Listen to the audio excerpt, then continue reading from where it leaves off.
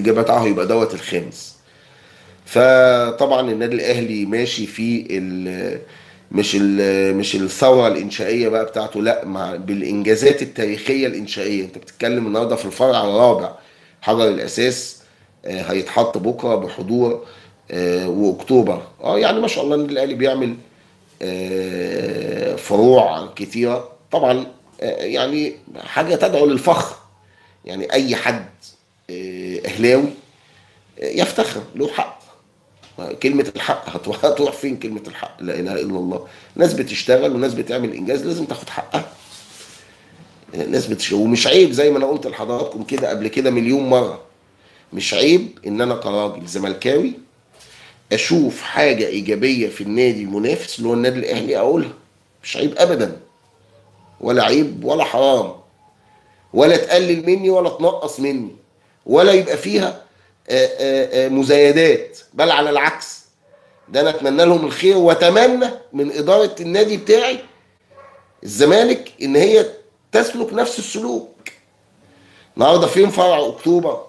اللي بقى لنا عشرات السنين في نادي الزمالك بالنادي بيه والمليارات ومش وقته طبعا إن إحنا نتكلم فيه مش موضوع حلقتنا. إنما أنا بحب دايما بحب دايما أشوف الحاجة الكويسة ونلقي عليها الضوء هنا. وهنا والحاجة الوحشة زي ما حد بيقول لي كده حاجة سلبية ما إحنا بنقول عليها برضه يا أستاذ جمال.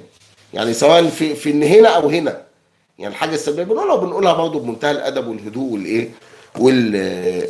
والاحترام فطبعا ألف مليون مبروك للنادي ال- الأهلي وإدارة النادي وإدارات بقى النادي الأهلي المتعاقبة سواء الإدارة الحالية بقيادة الكابتن المحترم الخلوق رمز من رموز مصر. والنادي الأهلي الكابتن محمود الخليق أو الخطيب أو من قبليه ال- السيد المحترم آه، رجل الأعمال الناجح جدا اللي خسرته الرياضة المصرية ارضا آه، أيضا آه، آه، محمود طاهر ومن قبليهم طبعا الكابتن حسن حمدي ومن قبليهم ومن قبليهم الكابتن صالح حسين. وعد بقى وأنت آه، راجع كده إدارات كلها متعاقبة إدارات كلها محترمة ساهمت في تلك الإنجازات انجازا تلو الإيه؟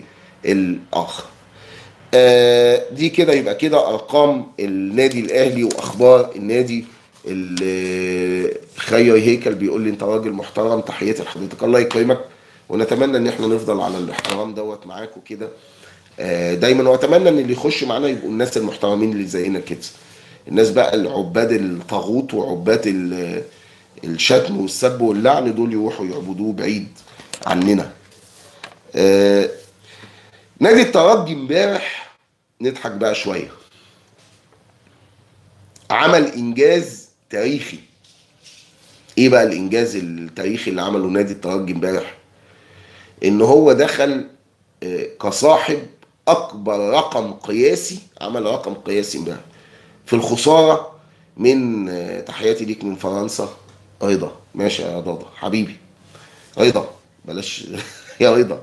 آه، رقم قياسي للترجي هو خسر السوبر الأفريقي أربع مرات. أربع مرات. طبعا الأندية التونسية الأندية التونسية صاحبة الرقم القياسي في الخسارة في مباريات السوبر الأفريقي. كان قبليهم الصفاقسي ثلاث مرات والنجم الساحلي ثلاث مرات وكان الترجي ثلاث مرات فأصبح الثلاثه التوانسة ثلاث فرق التوانسة سواء النجم الساحلي أو الصفاقسي أو الترجي 3 3 3 يخسروا. في النهائيات في نهايه السوبر الافريقي امبارح بقى الترجي ضرب الرقم الإيه؟ القياسي وبقى أصبح هو الفرقة الإيه؟ ال- ال- ال- ال- اللي أصبح عنده أربع مرات. آه وبقى ثالث فرقة تخسر تمام؟ البطولة مرتين ورا بعض. عندنا المازيمبي الكونجولي في 2017 2018 وعندنا الصفاقسي التونسي برضو 2008 و2009 وعندنا الترجي 19 20 و18 19 برضو اتنين ورا بعض. من النمسا بنحبك يا تامر مع إننا أهلاوية. أنتوا محترمين. أنتوا محترمين. الناس اللي في النمسا والأهلاوية والزملكاوية آه محترمين. تمام. تمام. فكده ده ال- الأرقام القياسية لنادي ال- الترجي. نادي الزمالك نادي الزمالك هو صاحب الرقم القياسي في الفوز في مباريات السوبر الأفريقي بعدد الإهداف 3 1 يعني السوبر الأفريقي صاحب الرقم القياسي في الفوز نادي الزمالك 3 1 بنتيجة 3 1 3 1 ديت كانت أكبر نتيجة موجودة في 2003 لما نادي الزمالك كسب الوداد البيضاوي المغربي في 2003 السوبر الأفريقي بنتيجة 3 1 من 2003 لغاية امبارح تمام؟ 14 2 عيد الحب اللي الزمالك عيد على جماهيره وعيد على الدنيا كلها بالحب تمام؟ كسب برضه بنفس النتيجة 3 1 عشان يبقى لسه محافظ على إن هو صاحب الرقم القياسي في الفوز ب آه، آه، دي ما فيهاش رقم قياسي. امال نقول عليها إيه؟ أكبر نتيجة؟ سميها زي ما تسميها بقى. فالنهاردة آه، نادي الزمالك كده. آه، النادي الأهلي بيظل يظل آه، محتفظ بإن هو رقم واحد في عدد مرات الفوز بالسوبر الأفريقي. ست مرات يجي وراه نادي الزمالك أربع مرات بعد كده مازيمبي الكونجولي بنتيجة ثلاث مرات فوزا بالسوبر ال- الأفريقي. آه، قلت لحضراتكم إن الزمالك بيتلقى خطاب رسمي من الكاف إن مباراته مع الترجي بمشيئة الله تعالى هتبقى يوم 28 فبراير. ومباراة العودة هتبقى 6 مارس فرنسا. علشان ماتشين الترجي للزمالك 28 فبراير و6 مارس وماتشين سان داونز للنادي الأهلي 29 فبراير و7 مارس. واللي اتكلمنا عليه في النادي الأهلي بنكرره دلوقتي وبنقوله في نادي الزمالك. أتمنى طبعا هو ملعب اللقاء لم يحدد بعد. تاني ملعب اللقاء لنادي الزمالك لم يحدد بعد. وبالتالي وبالتالي اللي هيحصل الفترة الجاية أنتوا متعودين معايا على إيه؟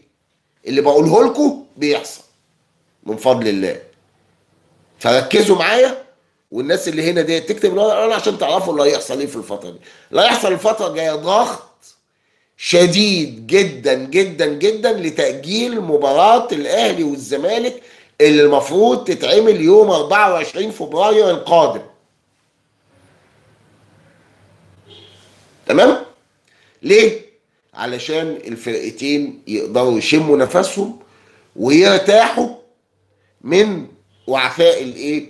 السفر ومن تعب ماتش آه، يوم 20 القادم. عصام كريم بيقول لي على الصدق والصراحة آه والله يا عص ربنا يقدرنا عليهم إن شاء الله بإذن الله. تمام ولا مش تمام؟ فإحنا النهارده بنتكلم وبنقول اللي جاي من بعد يوم 20 ده هيبقى الاتجاه كله ماشي في اتجاه تأجيل ماتش الإيه؟ الأهلي والزمالك يوم 24 فبراير. نداء إلى المسؤولين في الأمن. ونداء لإدارتي الزمالك والأهلي. بضرورة مناشدة الأمن بعدم تفريغ الفرقتين من أسلحتهم الأساسية اللي هي إيه؟ الجمهور.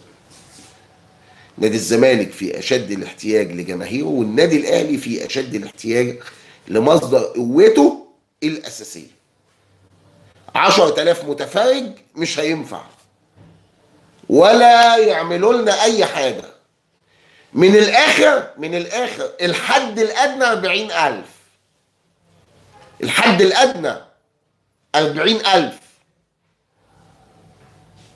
40000 لا في ماتشات اتلعبت ب 30 نادي الأهلي لعب ب 30 والزمالك لعب ب 30 فلازم يبقى فيه لأن الفرقتين محتاجين جمال محمود بيقول لي انسى نعمل اللي علينا جيمي. إحنا هنعمل اللي علينا والباقي عند الله سبحانه وتعالى وعند أصحاب القرار اللي أنا واثق متأكد مليون في المية إن هم آه، آه، قادرين. احسن ما مشكله إحنا قادرين. إحنا في افريقيا إحنا بنلعب في افريقيا يا جماعة محمود افريقيا يا بيه. بالظبط كده. إحنا قادرين. قادرين نأمن. اللي هيأمن 10000 يأمن 50 ويأمن 60 يا جماعة. اللي هيلعب في السلام يلعب في القاهرة. هتلعب 28 يلعب 28 و29 إحنا بنتكلم إيه بنتكلم كورة. بيقول لي انت بتقدم في مالطا. إحنا نقول الصح والباقي على الله. اللي يسمع يسمع. أنا هنعمل إيه؟ ما إحنا مش أصحاب قرار. إحنا مش النادي الأهلي مقدم 65000 الزمالك لا يبقى 65000 برضه. استاد القاهرة طالما هيلعب 28 و29 واتحلت اللي يأمن 10 هيامن 60 ده إحنا مصر. ده إحنا مصر. وشبابنا ورجالتنا كلنا في المهمات الوطنية كله مصر. مصر بس أنا لابس أبيض ومصر بس أنا لابس أحمر. وجماهير الاهلي تروح مع الزمالك تشجع الترجي آه تشجع قدام الترجي. وجماهير الزمالك تاني يوم يروحوا مجاميع مع النادي الاهلي ويقعدوا يشجعوا. في إيه يا جدعان؟ ما إحنا كنا كده كتير قوي زمان يا جدعان. ما إحنا كنا كده كتير أو سيبوكم من ال... من الحالات الفردية. سيبوكم من الحالات الايه يا عم مجدي لا اطلع يا عم أنت. لا إله إلا الله. فاهميننا ولا مش فاهميننا فمن فضلكم لو سمحتم من فضلكم لو سمحتم. لابد إن الاتجاه اللي جاي يبقى كده. مش عاوزين نفرغ الفرق من قوتها الأساسية في مواجهة ماتشين مهمين ومهمين جدا جدا جدا. فرجاني ساسي طبعا بيحتفل مع جماهير نادي الزمالك اللي أصبحت عاشقة ليه وهو عاشق ليها. الحقيقة يعني. بالبطولة الرابعة اللي حققها في ظرف سنتين فرجاني ساسي كل يوم والتاني بيخش قلوب نادي الزمالك فرجاني ساسي كل يوم والتاني بيزداد حبا وعشقا لنادي الزمالك فرجاني ساسي. خلي بالكم إن هو حتى الآن في له مستحقات مالية كتيرة جدا متأخرة إنما الراجل من كتر حبه وعشقه لنادي الزمالك وجماهير نادي الزمالك والحالة الجميلة اللي موجود عليها فرجاني مع جماهير نادي الزمالك مخليه يعني فرجاني متمسك قوي بوجوده في هذا الكيان الكبير والعظيم وهو نادي الإيه؟ الزمالك. وصول الفوج الأول من بعثة نادي الزمالك اليوم الساعة السادسة مساء الجهاز الإداري وال والطبي والفني وصلوا في انتظار الأبطال. الأبطال استقبال هيبقى تاريخي هتتابعوه كمان شوية. هيبقى على الساعة 12 إن شاء الله في مطار القاهرة. أنا بقول لكم تابعوه كده هوت على صفحات التواصل الاجتماعي هتشوفوه وهتشوفوا ناس كتيره منزلة لايفات الاستقبال هيبقى تاريخي وتاريخي كتير جدا لنادي الزمالك. اليوم اليومين دول بقى إن شاء الله الأحداث متسارعه متلاحقة في الماتش اللي جاي بإذن الله. هتبقى له كواليس كتير قوي فخليكم متابعينا على مدار اليوم وعلى مدار الساعة في برنامجكم كلمة حق في زمن عالي قوي في صوت الباطل تصبحوا على خير.